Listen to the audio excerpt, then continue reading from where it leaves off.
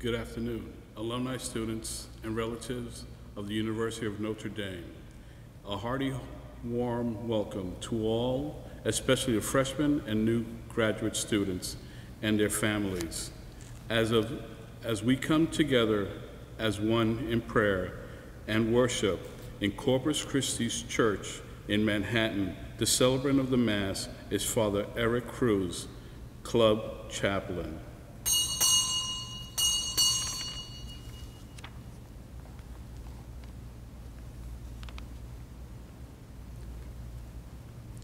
O God, come to my assistance. O Lord, make hostile Haste. for help to help me. As you are my rescuer, my help, O Lord, do not delay. In the name of the Father, and of the Son, and of the Holy Spirit. Amen. The Lord be with you. And with your spirit. We gather our prayers and praises as we today bless and sanctify the new students this new school year at our beloved alma mater. But we take a moment to call to mind our faults and our failings, to also call to mind our personal intentions, not just for today, but for this upcoming school year.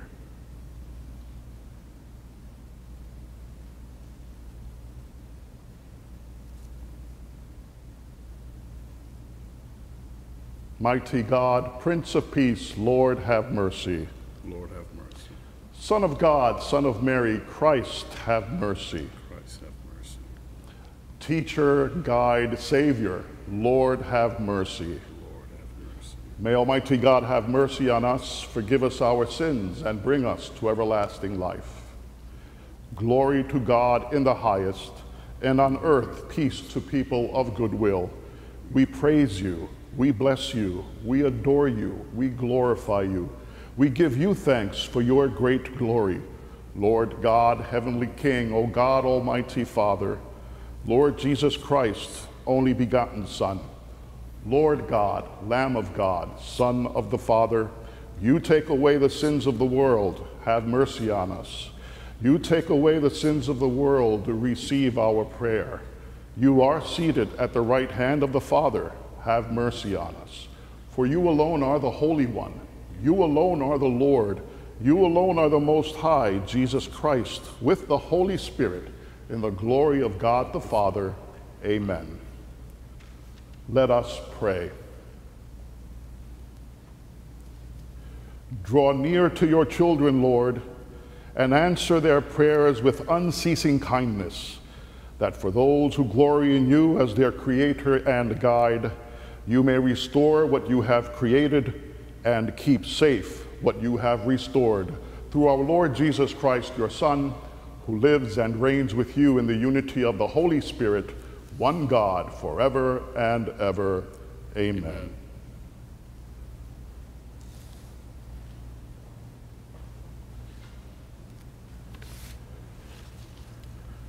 A reading from the prophet Isaiah. Thus says the Lord, all you are all, all of you who are thirsty, come to the water. You who have no money, come, receive grain and eat. Come without paying, without cost. Drink wine and milk. Why spend your money for what you do not for, for it is not bread, your wages for the for what fails to sat- what fails to satisfy. Heed me, as you shall eat well. You shall delight in rich fare. Come to me heedfully. Listen, that you may have life. I will renew with you the everlasting covenant, a benefit assured to David. The word of the Lord. Thanks be to God. Thanks be to God. Psalm. Response, responsive psalm. The hand of the Lord feeds us. He answers all our needs. The The Lord is The hand of the the Lord, Lord feeds us. He He answers all our needs. The Lord is gracious and merciful, slow to anger, of and of great kindness. The Lord is good to all. He, com- he compensates towards all his work. The hands of The Lord feeds us. He answers all our needs. In the eye of all look hopefully to you, and you give him, you give them their food in due season. Oh, you open your hands and satisfies the desire of every living thing. The hands of the, the Lord, Lord feeds feeds us. He answers all our needs. The Lord is just in all ways and holy in all his work. The Lord is near to all who call upon him, to all who call upon him in truth. The, hands of the Lord feeds us. He answers all our needs.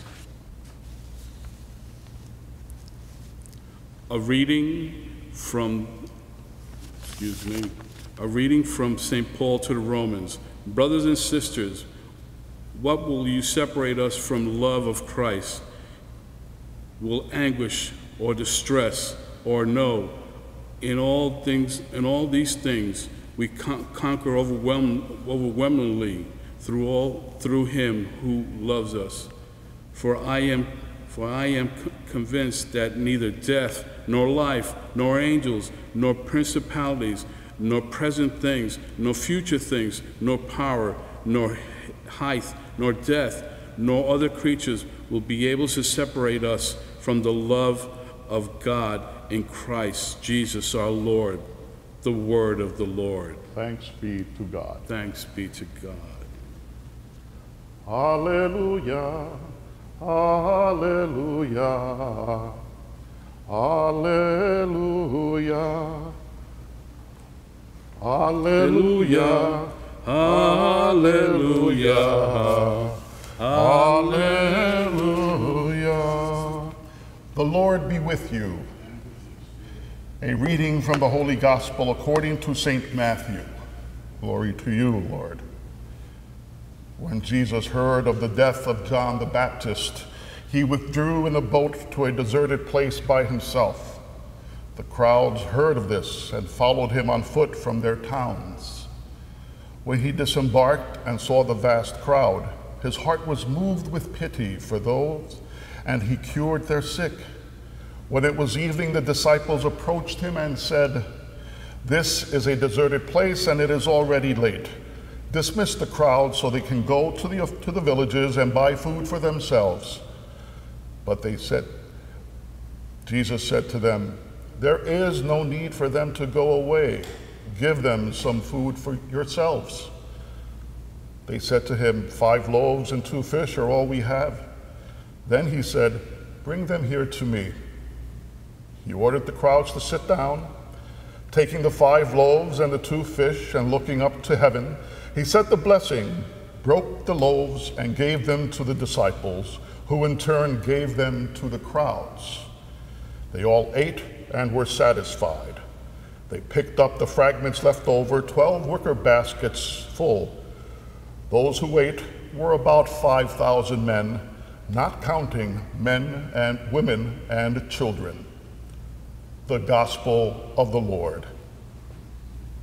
Praise to you, Lord Jesus Christ. Nowadays, I can't help but occasionally feel insecure, inadequate. So many things going on, so many activities and responses and services that we'd like to do, but we can't. Perhaps we're overwhelmed with what's happening around us. Perhaps we, we just don't know what to do. We're confused. We want to act, we want to help, we want to welcome, we want to visit, and we can't. Our Lord today, five fish, five loaves, and two fish. He takes that little to feed 5,000 plus. And we know that when these type of gatherings occurred in the ancient world, the, when, including the women and children, it was more like 14 to 15,000 attending these type of gatherings of villages from all around. See, the, the miracle is not so much one of sharing. Remember what our Lord says in other Gospels?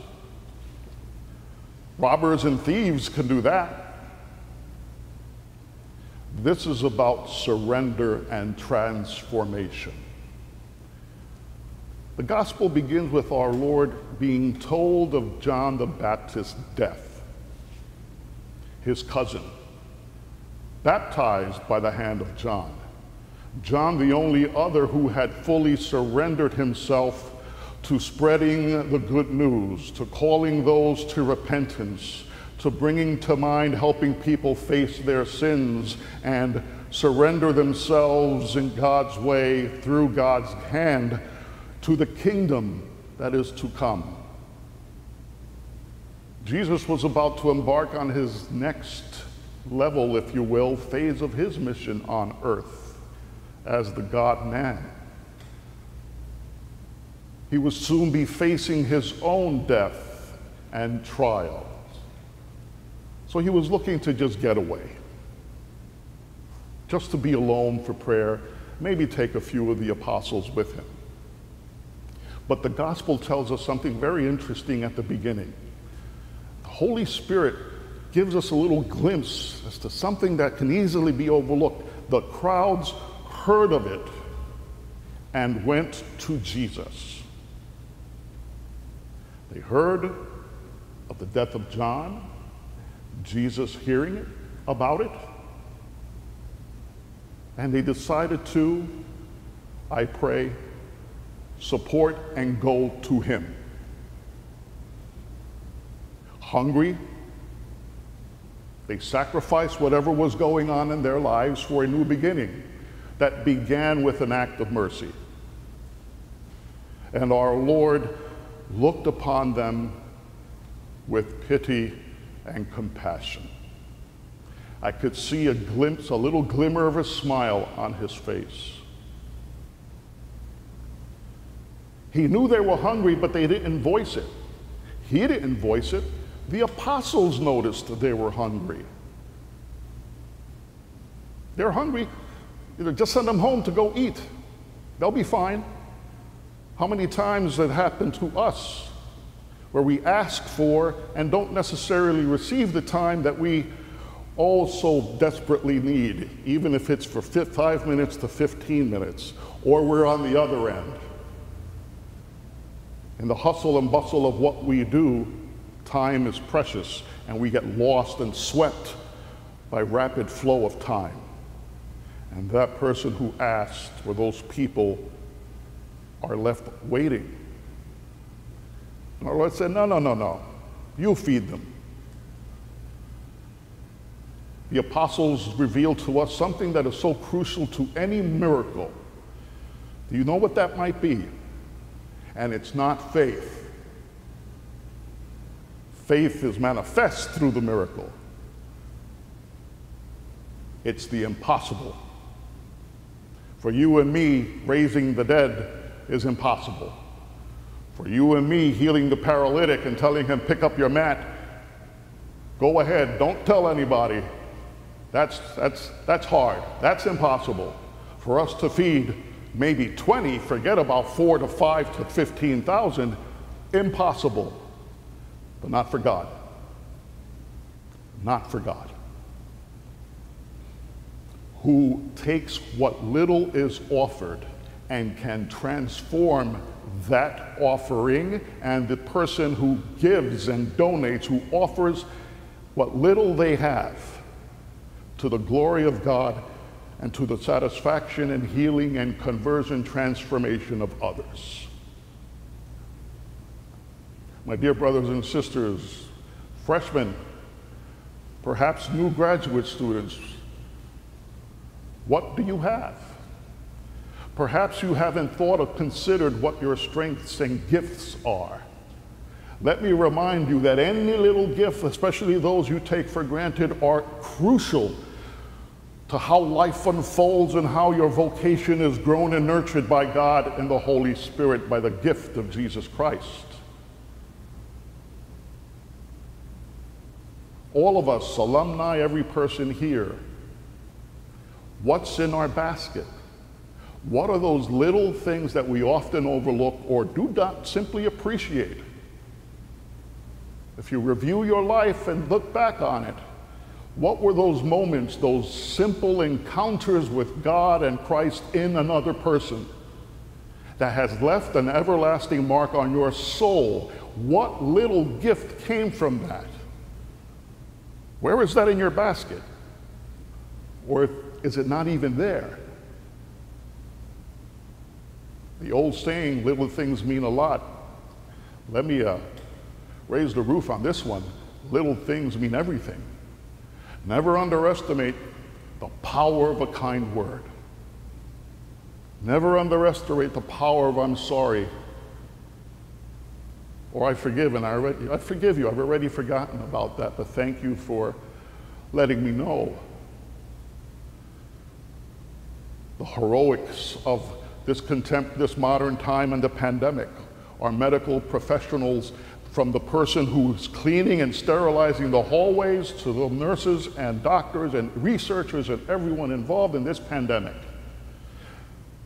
The little things that you do make a world of difference in the singular person you're assisting, treating, spending company, including your fellow co-workers, nurses and doctors and others alike.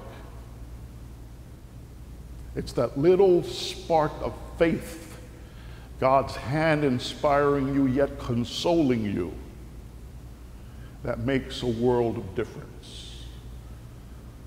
A consolation that will come over the next several months for those dearly departed.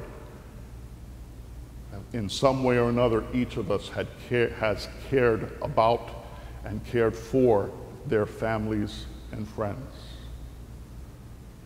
The little spark, the little acts of curiosity.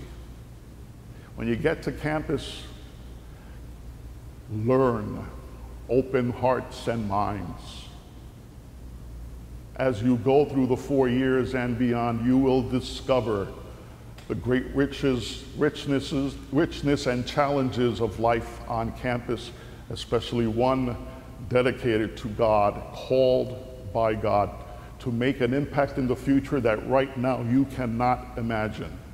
And I'm not talking about curing the global pandemic, but beginning in your corner of creation with your loved ones around you and whomever will be added to that beautiful uh, chain of relationships through these four years and beyond. The little things. I remember when I was completed third grade in the South Bronx at St. Augustine, and my mom had to transfer me to Our Lady of Victory. Boy, did we cry, especially she and the teachers. She couldn't afford the $25 a month. Don't ask me what rent, what the tuition is now. I can tell you, it's not $25. But she couldn't afford the $5. She hadn't been told about the tuition raise because someone whom I still do not know, nor did she, had actually paid the increase beginning two years prior so that I could stay. That person passed. a little gesture from the, that little basket of loaves and fish that has stayed and left an indelible mark in me. The little hand of friendship and mercy. My dear brothers and sisters, we will share a spiritual communion later, but we will, many of you have attended Mass, received our Lord. Just think about this and I conclude with this point. We've come to church to be broken and sent forth. We are the body of Christ mystically. We become one with Him when we receive Him in reality, physically. Broken pieces from the singular body to go forth by the hand of God and share and nurture and nourish and help transform the lives we encounter from today onward. What a beautiful reality. We come, we are broken, we are transformed, and we are sent forth by the hand of God and the Holy Spirit to nurture, bless, and help transform, bringing the name of Jesus to those in need who hunger and thirst. In the name of the Father, and of the Son, and of the Holy Spirit. Amen.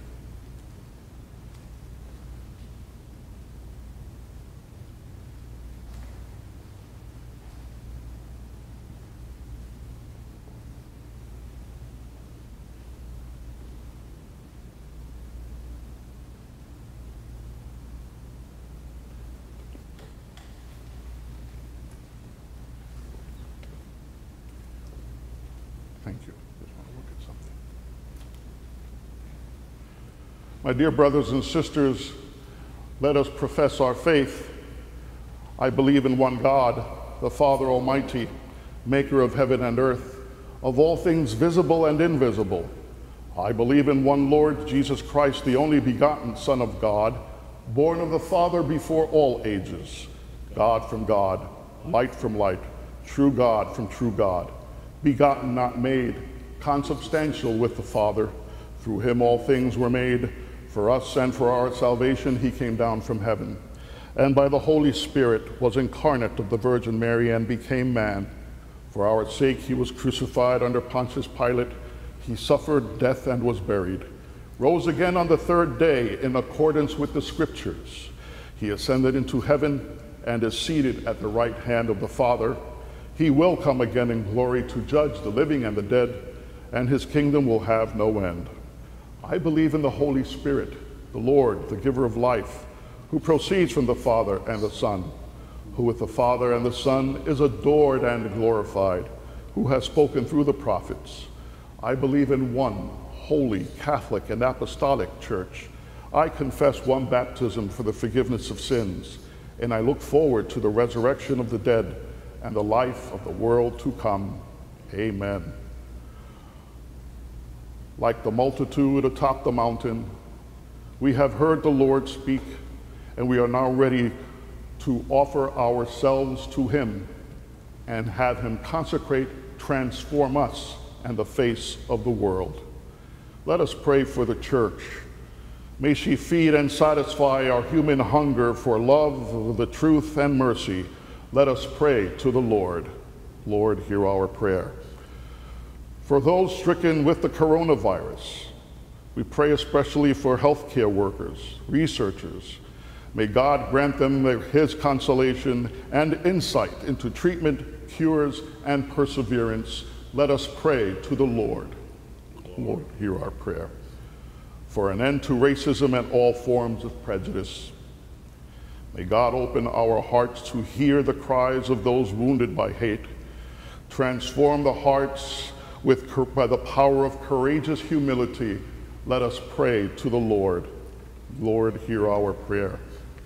For our students as they begin a new school year, may the Holy Spirit grant them the gifts of wisdom, right judgment, prudence, prudence and empathy. Let us pray to the Lord Lord for the sick and the afflicted, especially the elderly, those in nursing homes who suffer from loneliness, isolation during this pandemic. Let us pray to the Lord. Lord, hear our prayer. For the dearly departed, our personal intentions, for those persons who have asked us for our prayers, we commend to God's hand the soul of Regis Philbin and the consolation of his family.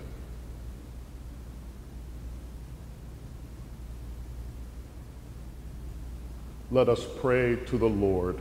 Lord, hear our Heavenly Father, hear and answer these our prayers which we put before you, asking you to transform them and us and renew the face of the earth through Christ our Lord. Amen.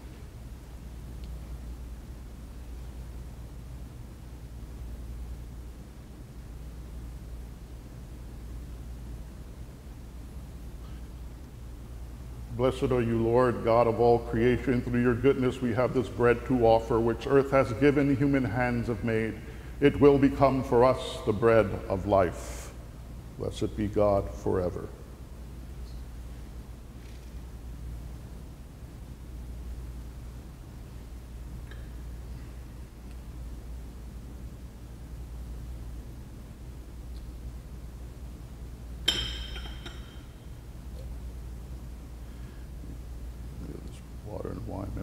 to share the divinity of Christ, who humbled himself to share in our humanity. Blessed are you, Lord, God of all creation. For your goodness we have this wine to offer. Fruit of the vine, work of human hands, it will become for us our spiritual drink. Blessed be God forever.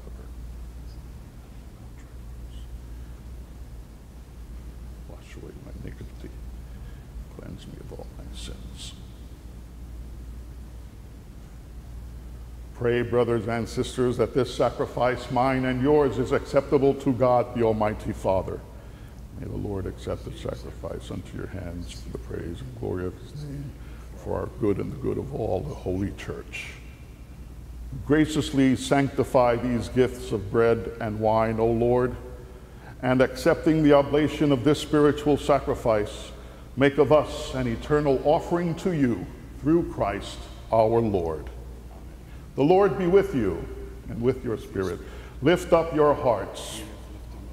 Let us give thanks to the Lord our God. It is right and just our duty and our salvation always and everywhere to give you thanks, Lord, Holy Father, Almighty and eternal God, through Christ our Lord. For in you we live and move and have our being. And while in this body, we not only experience the daily effects of your care, but even now possess the pledge of life eternal. For having received the first fruits of the Spirit, through whom you raised up Jesus from the dead, we hope for an everlasting share in the paschal mystery. And so, with the angels and archangels, we praise you as in joyful celebration we acclaim Holy, holy, holy Lord, God of hosts. Heaven and earth are full of your glory. Hosanna in the highest. Blessed is he who comes in the name of the Lord. Hosanna in the highest.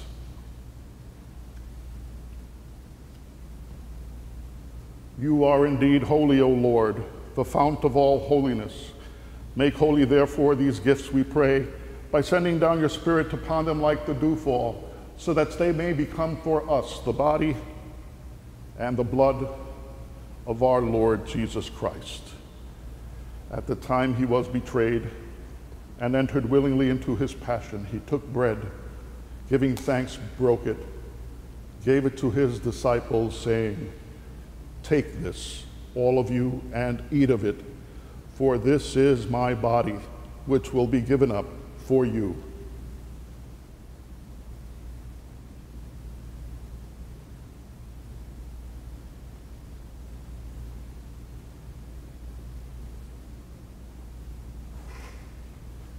In a similar way, sup- when supper was ended, he took the chalice and once more giving thanks, gave the chalice to his disciples, saying, Take this, all of you, and drink from it, for this is the chalice of my blood, the blood of the new and eternal covenant, which will be poured out for you and for many for the forgiveness of sins.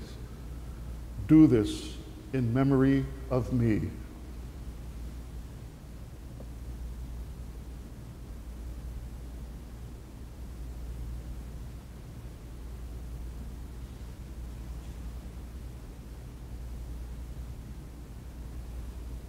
The mystery of faith when we eat this bread and drink this cup. We proclaim your death, O Lord, until you come again.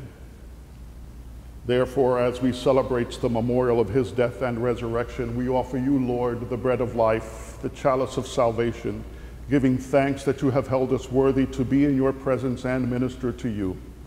Humbly we pray that partaking of the body and the blood of Christ, we may be gathered into one by the Holy Spirit.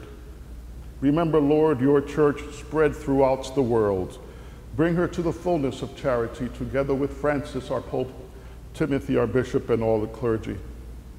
Remember your children whom you have called from this world to yourself. Grant, that they who were united with your Son in a death like his may be one with him in the glory of his resurrection.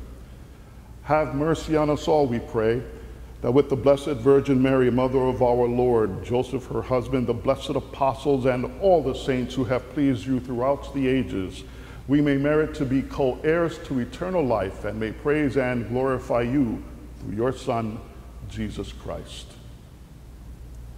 through him, with him, in him.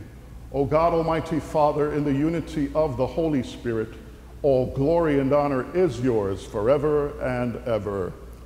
Amen.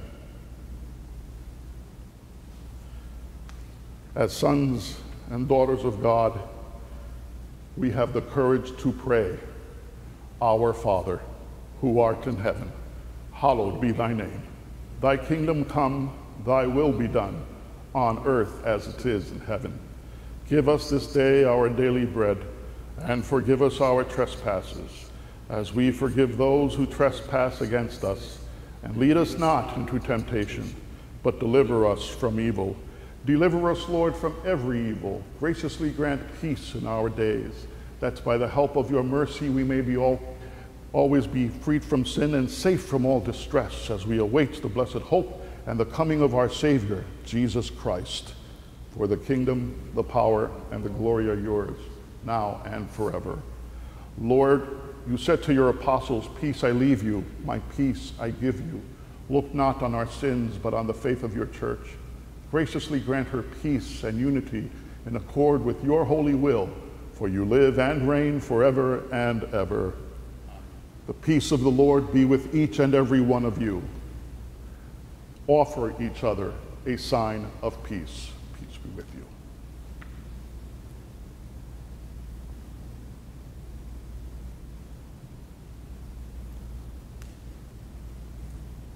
Lamb of God, you take away the sin of the world. Have mercy on us. Lamb of God, you take away the sins of the world. Have mercy on us. Lamb of God, you take away the sin of the world. Grant us peace. Lord Jesus Christ, Son of the living God, who by the will of the Father, the work of the Holy Spirit, through your death gave life to the world, free me by this your most holy body and blood from all my sins, from every evil. Keep, keep me always faithful to your commandments, and never let me be parted from you. Behold the Lamb of God. Behold him who takes away the sin of the world. Blessed are we called to the supper of the Lamb. Lord, I am not worthy that you enter into my roof, but only say the word, and my soul shall be healed.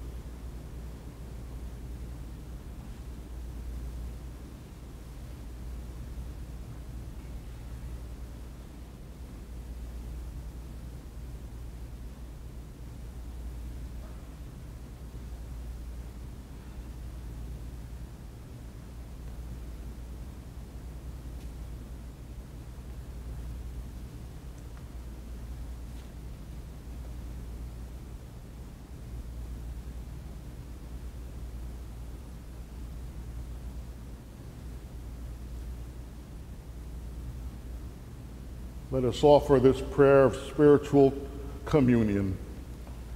My Jesus, I believe that you are present in the most holy sacrament. I love you above all things, and I desire to receive you in my soul. Since I cannot at this moment receive you sacramentally, come at least spiritually into my heart.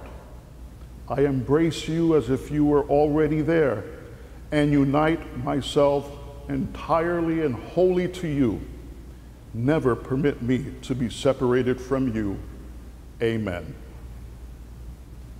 This also being the Mass of sending off our students, I offer the special blessing and ask all of the students to bow your heads where you might be.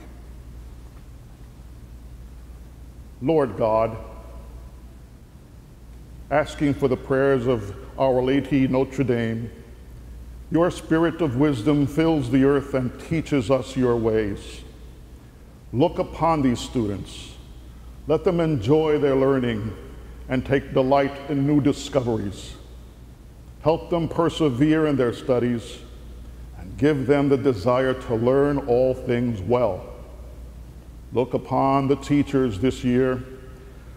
Let them strive to share their knowledge with gentle patience and endeavor always to bring the light of your truth to eager minds. Grant that students and teachers alike may follow Jesus Christ, the way, the truth, and the life, forever and ever. Amen.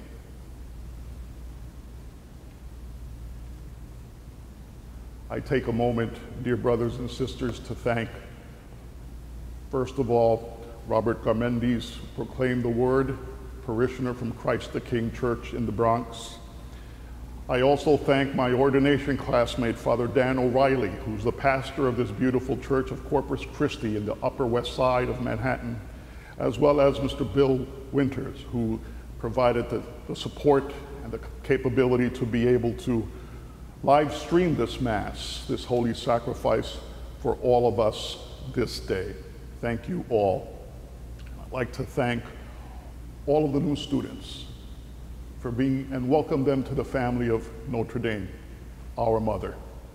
We would normally sing the alma mater, but I don't wish to torture you with my singular voice at this time. Uh, so please, when you have a moment amongst yourselves at home, play the alma mater and hear those words. Hear those words and let those words pierce and enter into your heart and your soul. The Lord be with you. May Almighty God bless you, the Father, the Son, and the Holy Spirit. This Mass is ended. Go in peace to love and to serve the Lord and one another. Thanks be to God. Blessed week, safe travels. God love you.